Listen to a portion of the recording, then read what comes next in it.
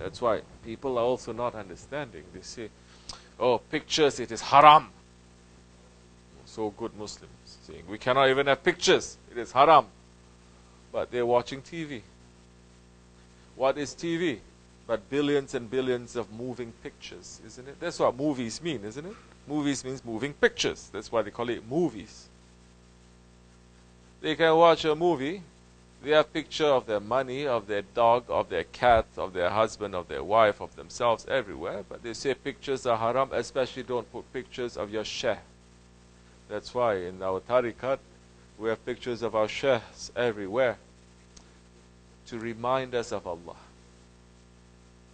Now, this is something that is there that will balance, that will counter, that will erase all the wrong things, the haram things that you see. So, as you like again. This is the month that you're also going to use your intelligence and you're going to use your willpower.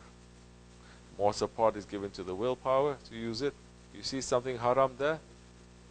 Lower your gaze and say, complain to Allah about your own weakness. Don't say, oh, look at these people, it's, oh, this is wrong. No, say, Ya Rabbi, forgive me. I'm weak. Send me some help.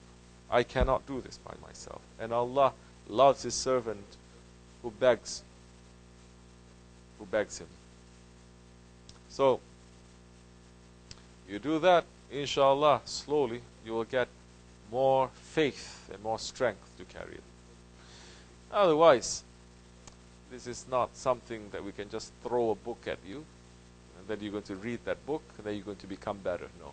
Now we move into areas of the willpower. Willpower has to do with the ego. Ego, you can only learn under a sheikh. Assalamu alaikum